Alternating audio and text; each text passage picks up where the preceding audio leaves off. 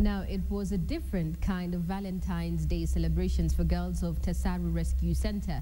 The Rescue Center marked the day with a procession to demand equal rights for the girl child. Girls of Tasaru Rescue Center held a procession to the Children's Office in Narok County in a bid to show that the girl child is equally important as the boy. We are asking for justice. Rais wetu amemchagua kilimo kama mwenyekiti wa board ambayo inahakikisha kwamba tohara imekoma. Hii ni kumaanisha kwamba serikali yetu sio tu maandishi, iko kwa sheria, lakini pia wanatekeleza. Recently, the deputy president gave a directive that anyone found marrying an underage girl or violating her fundamental rights will be arrested and jailed along with the local chiefs.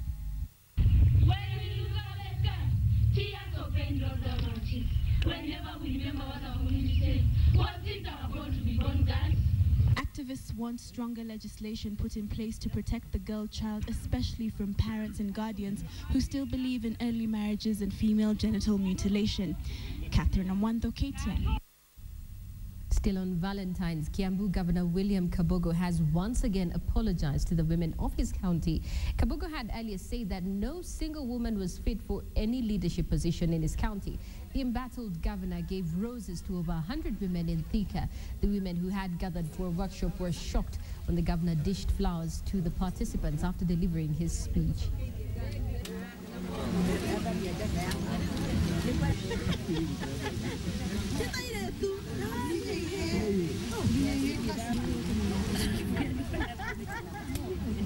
Special message today. Uh, get loved, be loved, and continue to love. This is not just today. It's not just today, but do it in a safe manner. Yes, let us be safe. We have a society that we need to grow. Nairobians were last night surprised by a treat from their woman representative Rachel Shebesh as many couples celebrated the Valentine's Day. The controversial Nairobi politician dished out goodie bags and flowers to the surprise of many.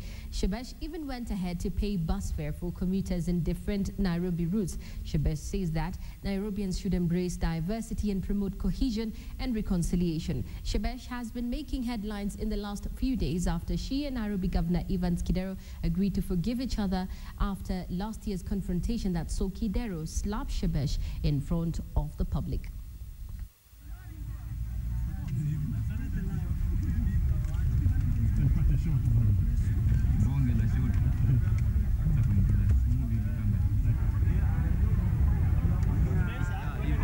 We wanted as Nairobi people to give it a twist so that people understand it's not just romantic love, but it is love for leaders to their people, it is love for neighbors, love for mother and children, and that's why today I've come here.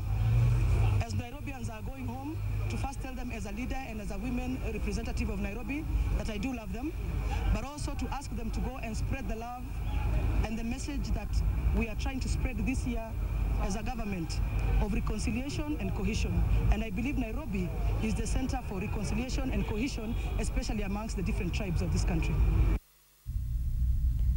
Moving away from Valentine's Day, Rongai Member of Parliament Raymond Moi has asked National Commission to National Land Commission to investigate human rights abuses being perpetrated by foreign landowners in his constituency against squatters. The legislator warned that unless swift action was taken immediately by the government, hundreds of squatters who are still in occupation after working for them for many years and without any place to refer as home would be victimized. Speaking at Kapsetek village, the MP revealed that land brokers and wealthy individuals were colluding with landowners to purchase such farms with a cheaper price before reselling the same with a much higher price, locking out the squatters who are then forcefully evicted. Si haki. It is not right. And I think the injunction in court was right. You know, it was timely. Ili isimamishwe mpaka mpaka tuite AFC wakuja hapa, wakuja hapa.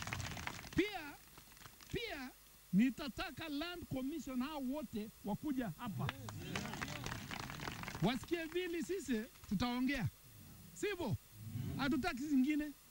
tunajua kweli mtu ako na haki ya kuuza shamba lake, lakini huwezi kuuza shamba lako if you have squatters on your farm without kumaliza hizo issues ya squatters kwanza.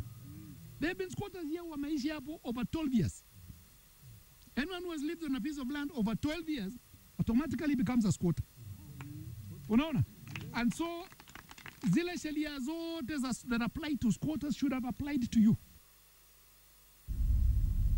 Kaya elders in Kilifi County say they have had enough and will not stand more deaths. The elders who staged demonstrations in the area are calling on the government to protect them from heinous murders carried out against them on suspicion of practicing witchcraft. The demonstrations were peaceful but with a strong message. The Kaya elders, who have now decided not to take things lying down, teamed up to demand for the killing of their members to stop. Mwaka jana tulikuwa tuna wazee ambao hawapungui kama wazee sabini na mbili wakiwa hao wamemalizika mwaka jana, na mwaka huu tayari karibu wazee ishirini na sita wameaga dunia, ikiwa sasa ni mwezi huu tu wa pili. Hili ni jambo la kusononesha sana, ni jambo la kuudhi. Led by the coordinator of Kaya Godama, Mzee Mitsanze Mangi, they marched from Kaya Mirima Wandege in Vitengeni, where several Kaya elders are seeking refuge. The elders said they fear living in their homes.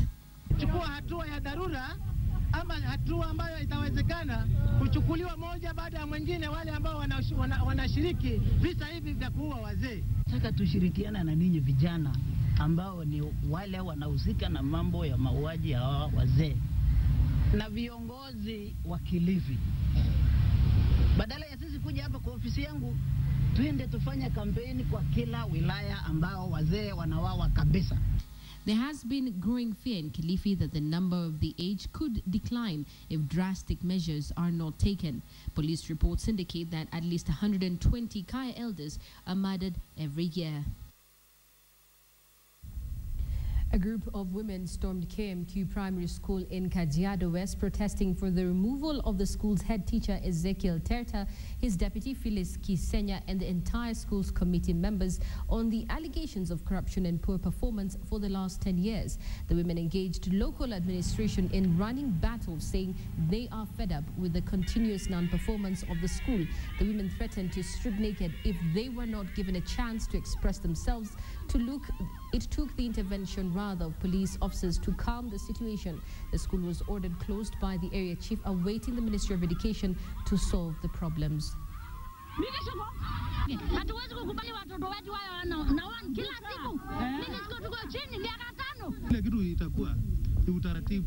ambayo itafuatwa, ambayo ngoja, ambayo ule mtu amemweka ndiye atamtoa. A digital medical school called Daktari Health has been launched where patients can now call and be attended to via phone. This project is one of its kind, with Kenya being the pilot. The project is slated to be launched in other African countries later in the year.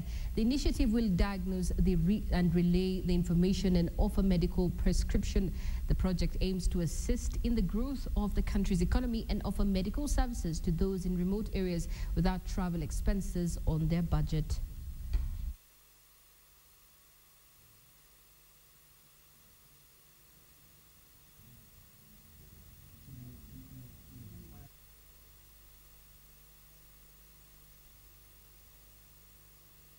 Today we have started the vocational training education center and it is in Nairobi but very soon we are going across the country in major towns.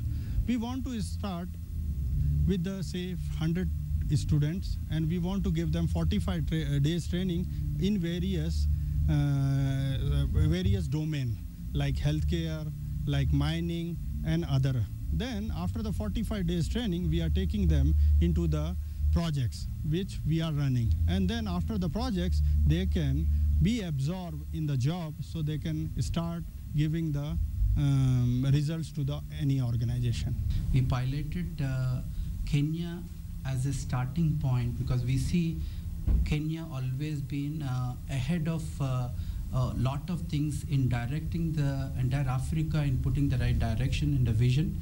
We see that uh, we also want to use the Kenya as a starting hub for us to bring that vision and then make it to the rest of the Africa. Welcome back. Moving on to the international scene now. For the first time, scientists in Texas have successfully grown human lungs in a lab. This is how they did it. Look closely, you're watching working lungs that UTMB scientists grew in a lab. Those are pig lungs, and these white lungs are human lungs. They grew them in the lab too. And listen closely, and you can hear the thump thump of air moving in and out. Growing organs may seem like science fiction, but it's the goal of medical researchers because so many people need an organ transplant and so many die waiting for one. Well, the most exciting part is to shorten the time that people have to wait for an organ transplant. How did they do it? They started with a damaged lung. So we removed all of the cells, all the materials that were in it, and we left the skeleton of the lung, or the scaffold that's left behind is just the pieces of the lung that are no cells. And that's why it looks so white and pretty, and there's no blood in it. it it's very pretty looking. And then we added back cells from another lung that couldn't be used for transplant, but still had some viable cells in it. But it took months until a UTMB medical student named Michael Riddle built a piece of equipment that sped up the process. He's the one that actually went home and built, using, I'm, I'm not kidding, a fish tank that he went and bought from a pet store is what he built the first piece of equipment. Took about four four months to take the cells from the lung uh, to where all you have is, is a bioscaffold. Um, and we took that process down to about three days. UTMB scientists grew those first human lungs in the lab last year. I'm the first to report it. But it's taken us a year to prove to ourselves that we actually did a good job with it. And so we, you know, you don't run out immediately and tell the world we have something wonderful until we proved it to ourselves that we really did something pretty amazing. Wow, well, I guess it's good news for smokers out there. Moving on, blind dates can be awkward, rather, but a 94 year old Californian woman says you have to take a chance on love. Richard Sharp introduces us to this woman whose outlook on dating and life is, is an example to everyone. 94-year-old Golden Henning is a bit anxious. She's waiting for her dinner date. I heard through the grapevine that he'd like to take me to a movie, but he's going to ask if I want to go. She hasn't dated since the 80s after her second husband died. Her chiropractor set her up on a blind date last week. And then he said, can I hold your hand? I said, of course. Oh, beautiful roses. The blind date went so well, it's time for a second. Meet 95-year-old Richard Shave. Oh, nice. Oh, look at those. And you brought, you brought, oh, first, first, first, another one. That was so good. Golden wants people to know dating doesn't have to be a game, and manners are important. See what a gentleman he is? Um, mean, it's hard to find nowadays. The couple is chaperoned by Richard's daughter, which makes them both feel like teenagers again. He's my date for the evening, and I am very excited. I'm on Twitter. At Granite Bay's upscale Hawk restaurant, the couple enjoy an early dinner. Golden does most of the talking. Ooh, they have duck. Lamb shanks are wonderful. That looks good, doesn't it, Dick? Even the waiter gets chatted up. He's 95. He's the older man. I'm 94. Richard and Golden say the key to a great time is to compliment your date and enjoy the moment. She's a real sweetie. She's flattering. She's very flattering. so are you. After decades of not dating, Golden says it has given her new life. You have one life to live. It's up to you to enjoy that life. Life is there to live. And if you can't do it for yourself, do it for others. Moving on to sports now. All eyes will be on Gor Mahia and AFC Leopards this weekend, even as the 2014 Kenya Premier League season kicks off with four matches on the cards. League champions Gor Mahia are in Gabon, where they will be seeking to lock out Bitam for the CAF Champions League, while Leopards wait until Sunday to defend or add more goals to the two they scored against Defense of Ethiopia last weekend. Debutants top Ryan Nakuru Stars away in a window against host Sony Sugar. Premier League first timers top fry Nakuru All Stars arrived in Awendo Friday to start their journey in top flight football, where they meet a team headed by former Harambee Stars coach Zedekiah Otieno. The Sugar Millers survived the chop last season, and Otieno will be keen on starting strong. Oliver Paget at the helm of Nakuru All Stars will as well be hoping to start positively.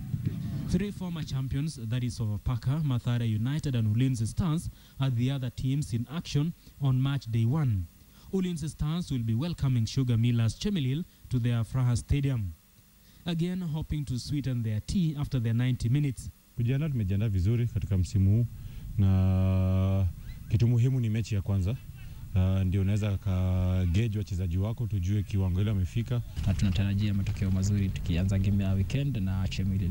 Sofapaka visits Muhoroni while Mathare United takes their battle to Mumias where Western Stima are waiting to electrocute them. Across the borders, Gor Mahia, who on Saturday last week aged Bitam of Gabon 1-0 in the first leg of the CAF Africa Club Champions League, crossed their fingers in West Africa. Gor requires nothing short of victory in Bitam to progress. On paper, AFC Leopards have high chances of qualifying for the second round. Their 2-0 win at home last weekend requires them to defend or better still hunt for a goal and they will be through. Well, thank you very much for watching KTN Weekend at 1. Remember, tonight is Job Center night. Make sure you catch it on the Weekend Prime. My name is Najma Ismail. Enjoy the rest of your afternoon.